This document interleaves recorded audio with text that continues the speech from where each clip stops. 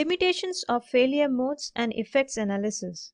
Although the application of FMEA in the healthcare system is useful, FMEA has only been introduced into this setting relatively recently. FMEA is still in its infancy in healthcare. Minor modification may need to be made to optimize its effectiveness and usefulness. Let's understand the limitations of FMEA with the help of video lecture. Failure modes and effects analysis versus root cause analysis. FMEA is a proactive, whereas RCA is a reactive. In FMEA, flowchart is sequential, whereas in RCA, flowchart is a timeline.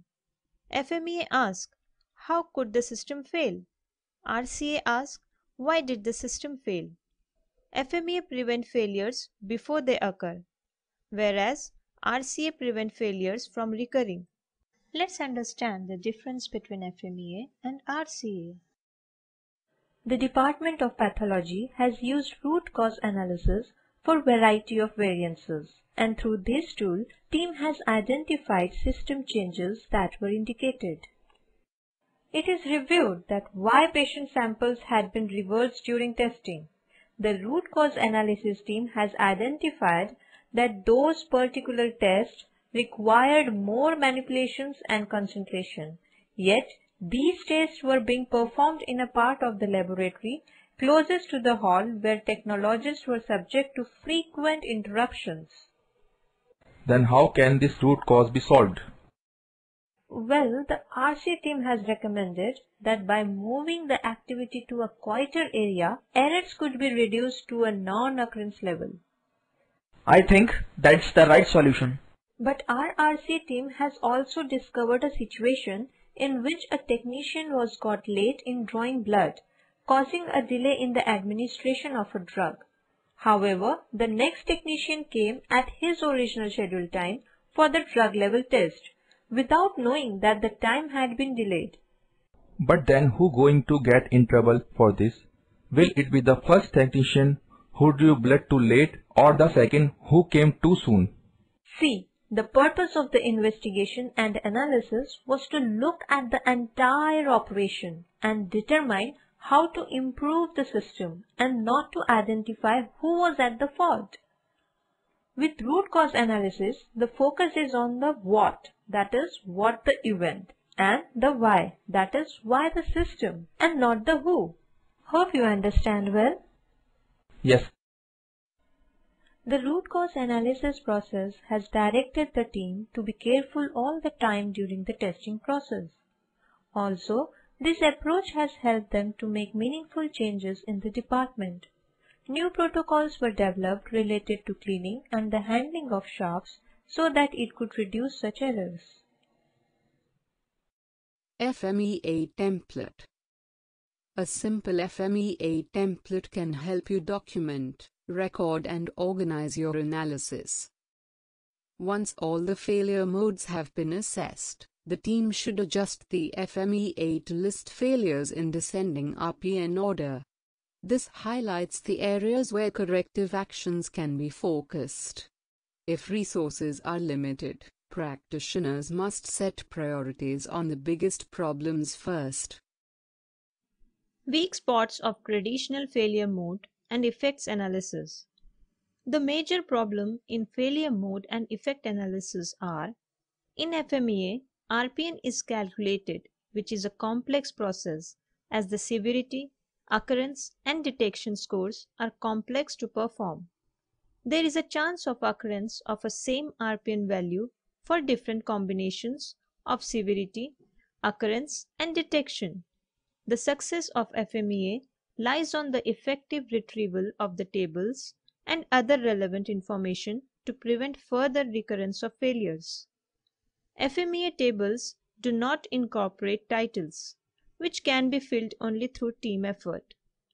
It does not assure any accuracy in estimating the mode and effect of the failures. Fault tree analysis.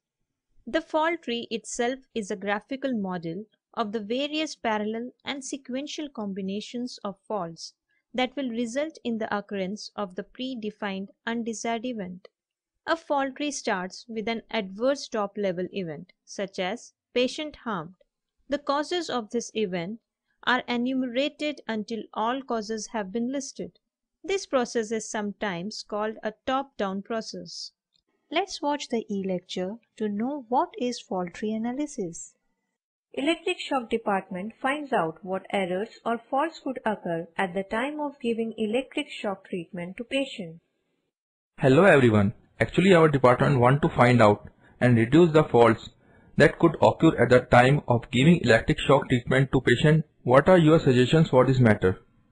Well, actually this problem can be solved by fault tree analysis, which is a tool for evaluating a device from a top-down perspective.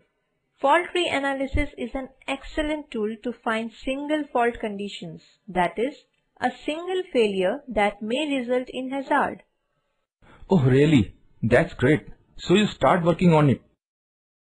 Fault tree analysis expert analyzes the electric shock process and prepares the fault tree analysis for the same and discuss it with the doctor. Hello sir, I have prepared the fault tree analysis for the discussed matter to discover the possible faults that could occur. Good. Show me the fault tree analysis. Sir, please have a look. The fault tree provided a framework for thorough qualitative and quantitative evaluation with a systematic analysis of the logic and basic causes leading to the top event. Fault tree analysis and failure mode and effects analysis. Fault tree analysis is a top-down method aimed at analyzing the effects of initiating faults and events on a complex system, whereas Failure mode and effects analysis is an inductive, bottom-up analysis method aimed at analyzing the effects of single component or function failures on equipment or subsystems. FTA shows that how resistant a system is to single or multiple initiating faults, whereas FMEA is not good at finding all possible initiating faults. FTA is not good at examining multiple failures or their effects at a system level. FMEA is good at exhaustively cataloging, initiating faults, and identifying their local effects. FTA considers external events, whereas FMEA does not consider external events. Let's watch the video lecture which will give you more information about the fault tree analysis and failure mode and effects analysis. Fault tree analysis and failure mode and effects analysis. Whenever you find it difficult to decide which technique you should use to analyze a system, failure modes and effects analysis or fault tree analysis, then here are a few tips to help you decide. 1. FMEA is a bottom-up technique which examines the failure modes of the components within a system, that is, the failure symptoms and traces forward the potential effects of each component failure mode on system performance. As such, it is a cause is equal to or greater than effect model. 2. FTA is the reverse of FMEA in that it is concerned with the identification and analysis of conditions including component failures that lead to the occurrence of a defined effect. In contrast with FMEA, it is therefore a top-down technique and so is an effect is equal to or greater than cause model. 3. FMEA will be more appropriate than FTA when you suspect that a large number of distinct system conditions exist with a range of unacceptable consequences. 4. Consider using FTA rather than FMEA when you are particularly concerned about one or just a few system conditions that pose unacceptable consequences. These conditions will usually have been identified as the system level effect using FMEA or some other hazard identification technique. 5.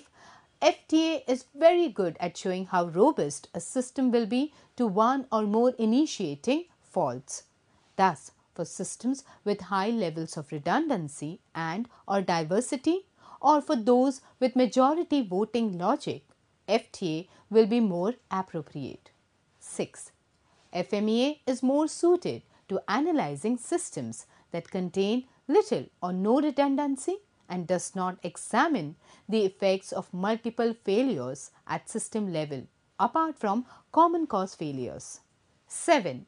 Consider using FMEA when the system contains novel technology and the effects of failure of the components contained within the system need to be explored with insightful judgment.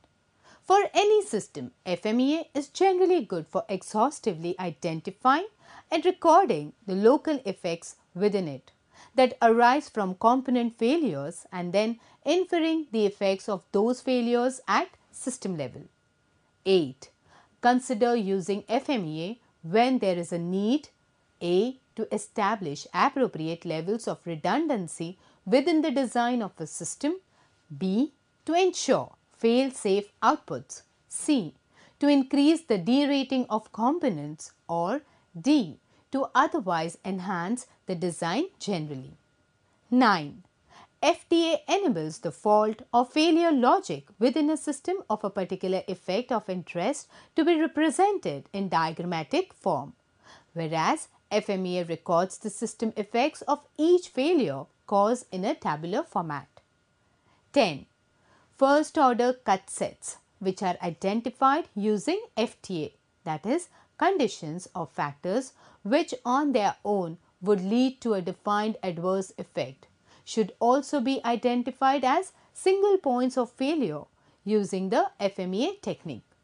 Whilst FTA focuses on a defined adverse effect, FMEA implicitly considers all adverse effects that may occur as a result of any single failure.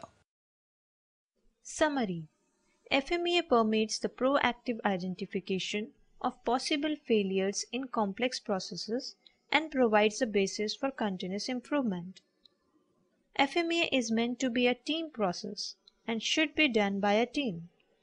FMEA should be performed on the correct parts by the correct team during the correct time frame with the correct procedure. Given that FMEA is still in its infancy in healthcare, minor modifications may need to be made to optimize its effectiveness and usefulness. An FMEA is proactive, but on the other hand, an RCA is reactive. Keywords Risk Priority Number The Risk Priority Number RPN, also referred to as the Criticality Index, is a quantitative measure used to evaluate and assess a failure mode. Root Cause Analysis A root cause analysis RCA is a particularly useful tool with which to commence the analysis of each of the failure points.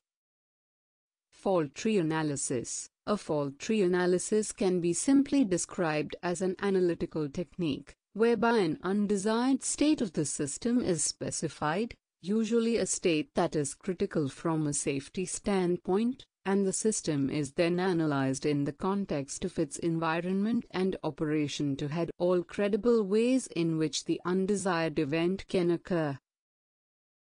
Further readings